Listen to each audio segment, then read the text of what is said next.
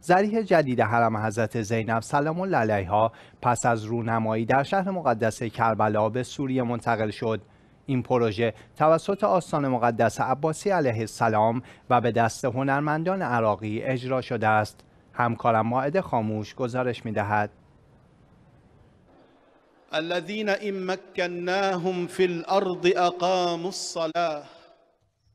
زریح جدید حرم حضرت زینب سلام الله علیها که در روز پایانی ماه سفر در شهر مقدس کربلا از آن رونمایی شد برای نصب در محل خود به سوریه منتقل گردید.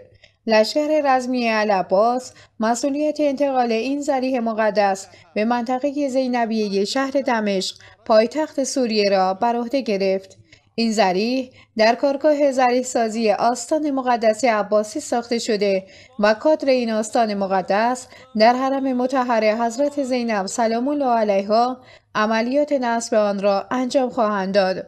بنابر اعلام آستان مقدس عباسی اعلام کرده بود که همه مراحل طراحی و ساخت زریح به دست هنرمندان با تجربه عراقی انجام شده است.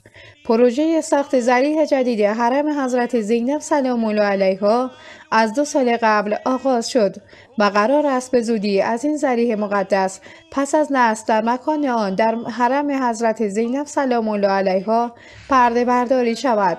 ماعد خاموش اخبار شیعه.